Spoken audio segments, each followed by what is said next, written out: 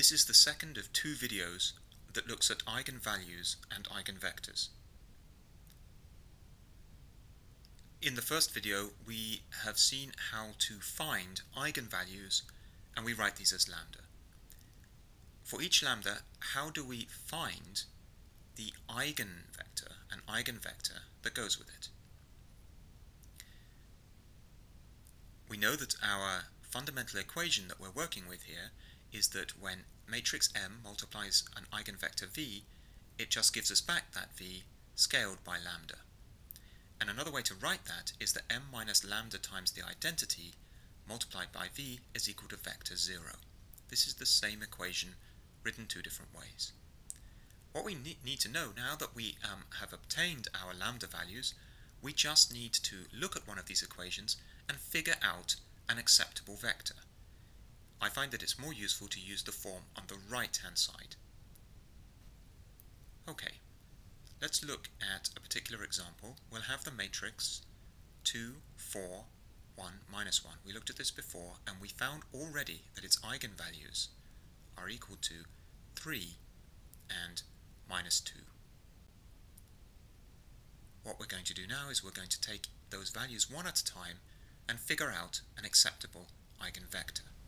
We're going to write our vector that we need to find as just x and y, where we need to find these x, y values.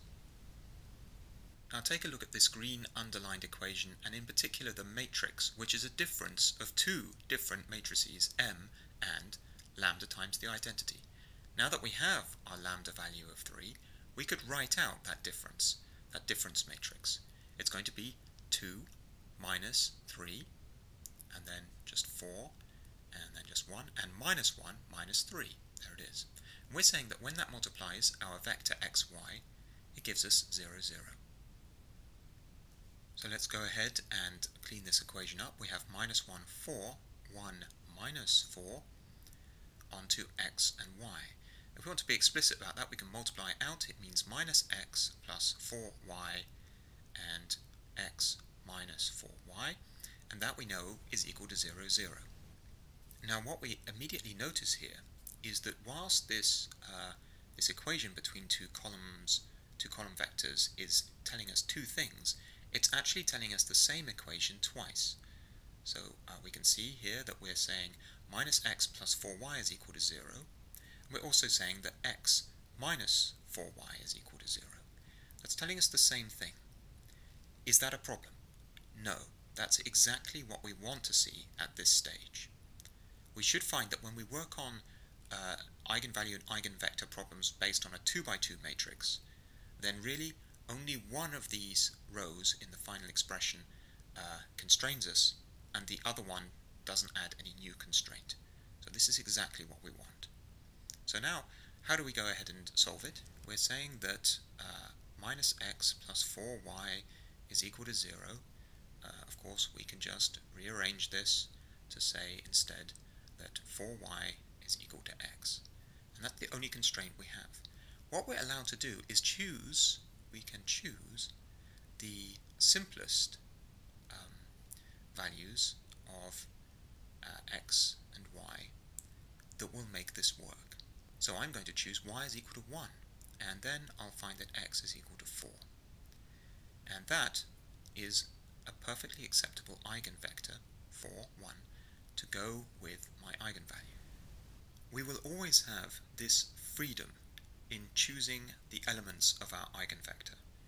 Really this freedom simply corresponds to choosing how long the eigenvector is, in other words, its magnitude.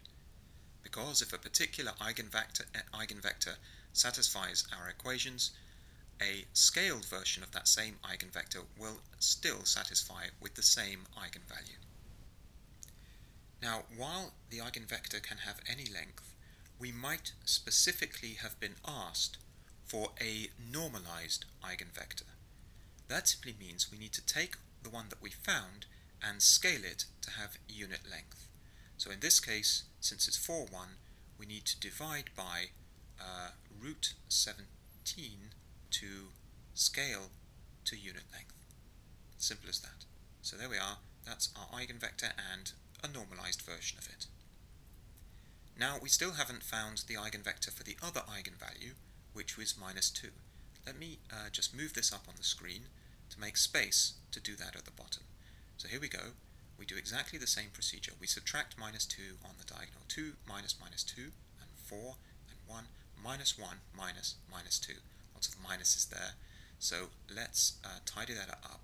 That's going to be 4, 4, 1, and in fact another 1. And then times xy is equal to 0, 0.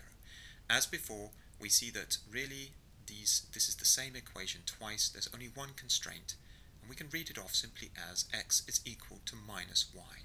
So if I choose x is equal to 1, for example, then I'm going to write down an eigenvector 1 minus 1.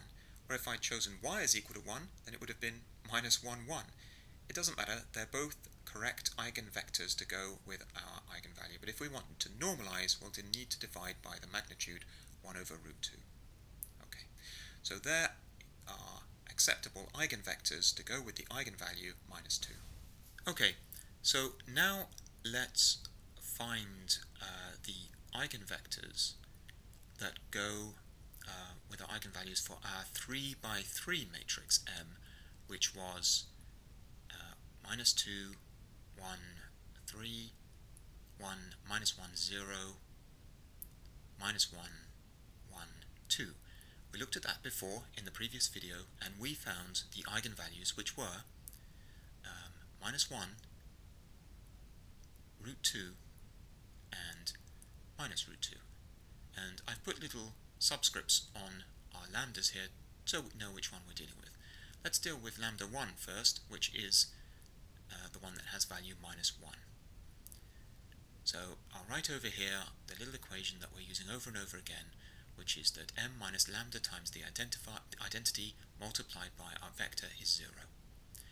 Okay, we need this difference matrix, so we subtract off the diagonal 1 minus minus 1, and then 1, 3, 1, and minus 1, minus minus 1, and 0, minus 1, 1, and 2 minus minus 1.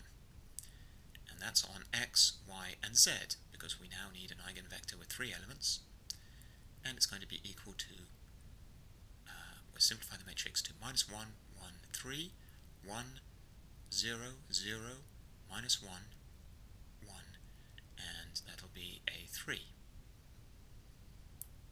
Again is on our x, y, z eigenvector is equal to 0, 0, 0. Now what we immediately notice is that, as before, we don't really have three different equations captured by our matrix equation, we only have two. In fact, this is very obvious in this case because the bottom row is the same as the top row. That's not always the case. It's not always the case that the rows are actually identical, but we will always find if we check that there are only really two independent equations when we're dealing with 3 by 3 eigenvalue problems. We only have two equations, really. Now I'm going to uh, highlight this row here, 1, 0, 0, that's just saying, in fact, that x is equal to 0. Now if we take uh, either the top row or the bottom row, we have minus x plus y plus 3z is equal to 0, or y is equal to minus 3z. Okay, so now we simply uh, choose any values of y and z. x has been dictated to us, but any values of I, y and z that satisfy these rules. So if I choose z is equal to 1, that's going to give me y is equal to minus 3. And I can straight away then write down a satisfactory eigenvector. It will be 0, minus 3, 1. As simple as that. It doesn't matter where the minus sign is, I could equivalently have uh, chosen z is equal to minus 1, and then I'd have 0, 3, minus 1. If I normalize, then I'll need 1 over root 10, that being 3 squared plus 1 squared, and so that is um, a complete solution for our first eigenvector. We found it in simple form and in normalized form. This is the eigenvector that goes with eigenvalue minus 1. We can go ahead, however, and check this eigenvector to make sure that it works. So for that we'll simply need to write out our matrix M, the original matrix, which was minus 2, 1, 3, 1, minus 1, 0, minus 1, 1, 2. We have our uh, vector 0, 3, minus 1. We just need to do this sum. So the first element is going to be uh, minus 2 times 0, and then there's a 3, and I see there's a minus 3, so that does give us 0. And our second element is the only non-zero element will be minus 3, and our third, third element there gives us 1, and we can write that as simply minus 1 onto 0, 3 minus 1, and so indeed we found that this vector works with the eigenvalue of minus 1. Now we can continue to look at, uh, to find the other eigenvectors, but first let's take a pause and review the steps involved. So we're looking at rules for solving eigenvector problems. Eigenvector problem is where we have a square matrix M and we say that M multiplied by some special eigenvector gives us back that eigenvector times just by a value, the eigenvalue. We find the possible eigenvalues using this equation involving a determinant of a difference of two matrices. In general, there are going to be n solutions for an n by n matrix. So two solutions for a 2 by 2, three solutions, three solutions for a 3 by 3 matrix. That's because when we write the determinant, it will have lambda to the power of n as its highest order.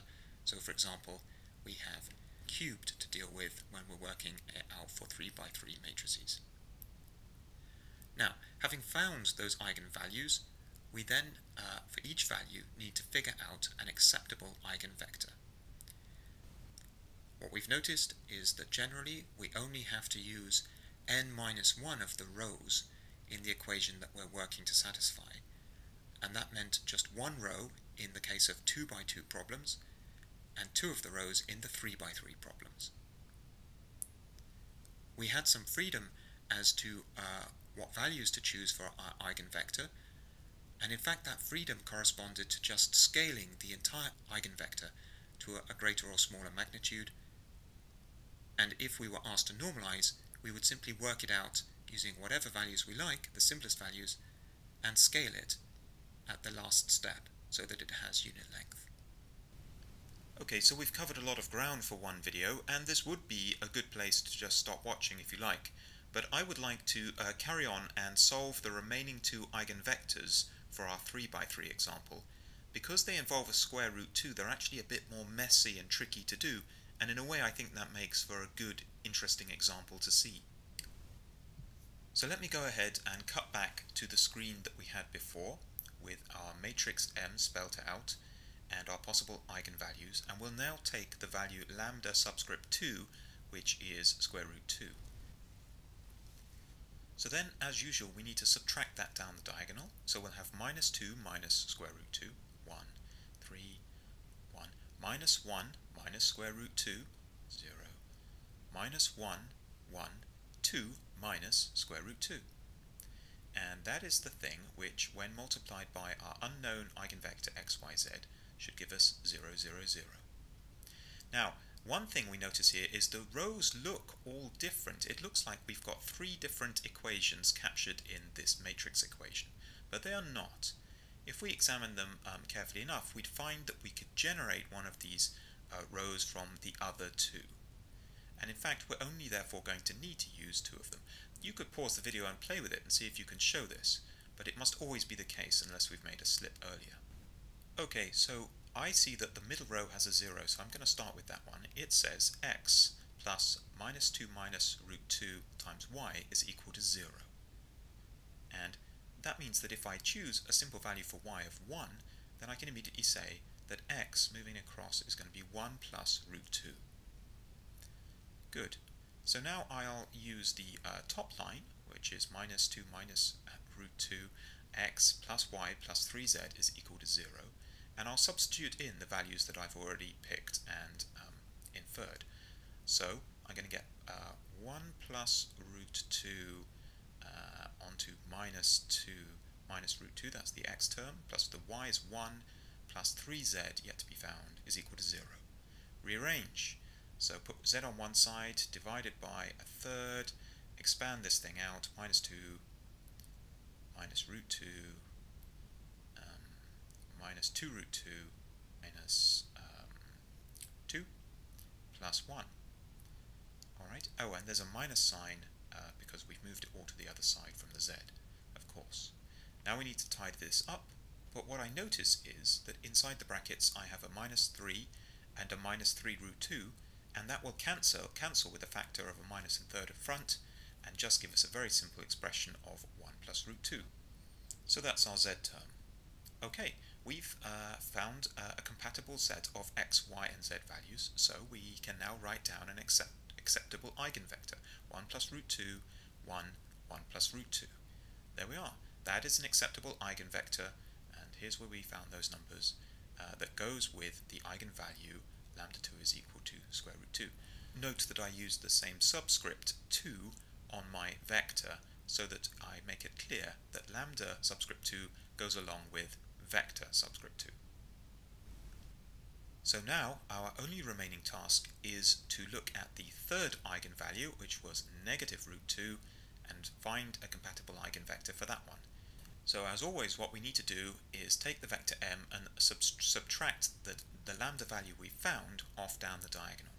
And because we're subtracting minus a minus number, we can just add it instead, of course. So that will be minus 2 plus root 2, and then 1, and then 3, and then 1, and minus 1 plus root 2, and 0, and minus 1, and 1, and 2 plus root 2. And that matrix, when multiplied by our unknown eigenvector xyz, will give us 0, 0, 0.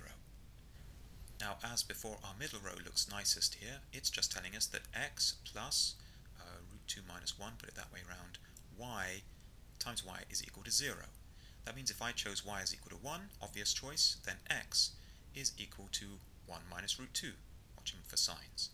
Now if I take the, let's say the bottom row, I can have minus x plus y uh, plus 2 plus 2 root plus 2 plus root 2 times z is equal to 0. But I can substitute in the values I found, so that will say that uh, square root 2 minus 1 plus 1 plus 2 plus root 2z is equal to 0. Okay, I've got some work to do to find out the value of z here. I'll start by uh, rearranging uh, just um, to put 2 plus root 2z uh, is equal to minus root 2 on the other side. Uh, but I still need to do a bit more work. Divide both sides. I notice I can simplify, simplify by a factor of root 2. I can write this as z is minus 1 over root 2 plus 1. Pause the video and check you agree with me. Um, and then I'm not happy with that because I don't want to leave z as a fraction. I could do, but that would make a very messy looking eigenvector. I notice there's a trick in up I have up my sleeve. I know that if I multiply the top and bottom of a fraction like that by root 2 minus 1, it will simplify. I will then find that the top, of course, is 1 minus root 2, uh, but the bottom will be 2 plus root 2 minus root 2 minus 1 and that whole expression just comes down to 1. Finally then, z is equal to 1 minus root 2. We've now found our x, y, and z values that are acceptable. So we're seeing, saying that vector 3 that goes with the lambda 3 value is 1 minus root 2, 1, 1 minus root 2. That is an acceptable eigenvector. So we're done. For our 3 by 3 matrix M, we found the three eigenvalues, and for each of them, an eigenvector. The last two of these, which involved the root 2, were uh, more tricky just because there was more to keep track of, more messy expressions, but the basic maths is the same every time.